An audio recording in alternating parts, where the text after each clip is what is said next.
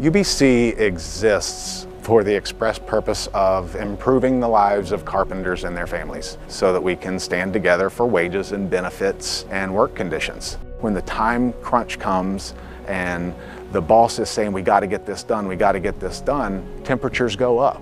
When you have compressed schedules, tight profit margins, that many people doing different things on a project, conflict is an everyday part of our life. We strive for a constructive culture in everything we do. Everything DiSC is a tool that we use to ensure that that constructive culture takes place every day. Utilizing Everything DiSC products within our programs brings validity to what we're doing. It really just emphasizes the things we're trying to accomplish. And for someone to self assess and get results that were not told by someone else, but that they brought to the table, um, I think that the impact on them has a lot of value. It just made me uh, more conscientious of how I communicate with others and how I'm coming off to others as I try to communicate to them. Interesting how you took all these questions and the next thing you know, you have this profile on yourself. If you really looked at it and go, wow, I can improve in this part or I am strong in this part where you didn't think you were.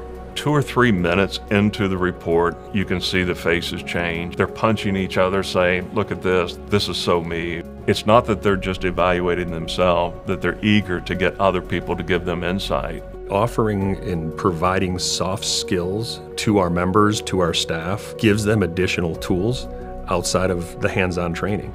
And it really just helped boost uh, them as as people but also just as as members of this organization that they're just better all around people. It causes you to look at yourself at face value and to realize that you can change in certain areas that's going to help you become a better person in which that's what it actually did for me.